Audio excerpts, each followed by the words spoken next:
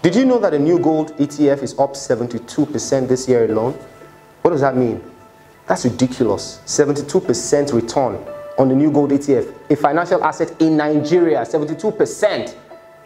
I need to remind you guys here that the average rate on treasury bills is about 3%. And inflation is 12%, 12.8% to be specific, which means that already investors are making negative returns by investing in treasury bills. And that's not, that's not the only thing. There are a lot of financial assets that don't give you up to 12%.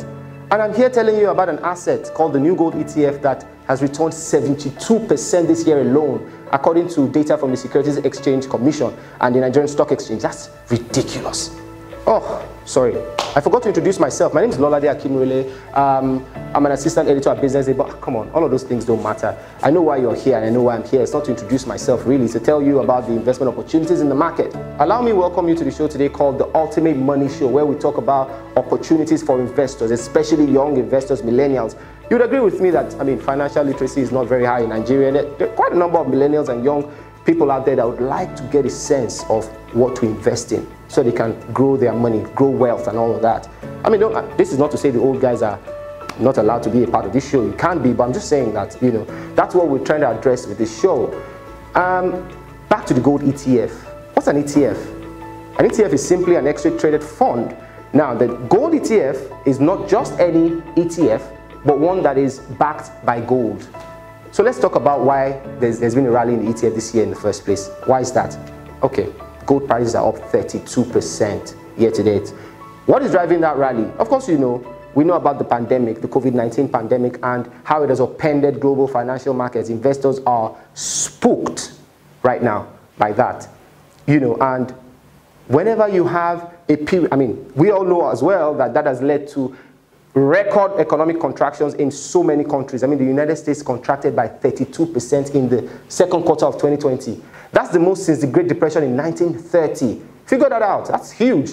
The UK as well contracted by 20%. I mean, quite a lot of.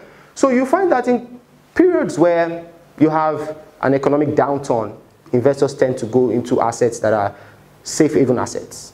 Gold happens to be one of them, and that's why gold prices have rallied this year. Because a lot of investors who are not, they, I mean, they don't have the stomach for the kind of risk that's in the market today because of the COVID-19 pandemic and what it has done to different economies and currencies and they simply are just rotating to gold. And that has rubbed off on the gold ETF. Now, the new gold ETF is listed on the Nigerian Stock Exchange, but managed by ABSA, the South African company, ABSA. Let's talk more about the new gold ETF and how it is becoming the new game in town in Nigeria, having more or less displaced treasury bills because of the lower yields. I mean, in 2016, I remember that the yields on treasury bills were double digits. In fact, it hit a record high of 21% in 2017. And you know, that period, a lot of Nigerians were just investing in treasury bills. A lot of young people, people that didn't even know much about investment because a friend who knew a friend had told them to invest because it was returning quite pretty much high. And it made sense, the attraction, you know, because this is a federal government-backed security, which means you're not taking any risk at all and you're making 21% return, which is yummy.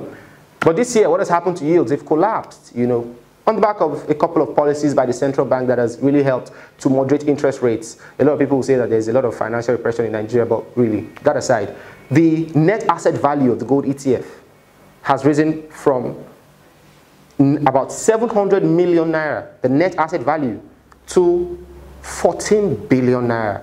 That's like a 24 fold jump in the space of one year. Yeah, because a lot of Nigerians are beginning to see the opportunity there. I mean, that's high return. That's high return. So I'm just here telling you guys about how, you know, this is, this is an emerging market trend. It's an emerging investment trend. You probably need to look at that. Now, I'm not guaranteeing that if you invest in that today, you're going to get 72% in another one year or, or all of that again. I mean, who knows what the market can do. But one thing I know for sure is that so long as the outlook for gold prices remain quite optimistic, then of course the gold ETF will definitely ride on the back of rallying gold prices. And yeah, you might make some return, might not be up to 72%, given that a lot of people have already started taking positions and uh, the global economy is maybe starting to recover from the financial and economic downturn, but still doesn't mean you can't make a higher return than inflation by investing in that gold ETF. Yeah. In fact, the opportunities in the gold ETF are enormous, so much so that the chief executive officer of the Nigerian Stock Exchange, Oscar Onyema, said that investors were already beginning to take more interest in the gold ETF. And he even canvassed it as a very, very profitable investment option for anyone out there that's looking to make returns higher than inflation. So, come on, what are you waiting for? So let's talk about some frequently asked questions. First question is people ask, what's the difference between an ETF and shares? Is there really a difference?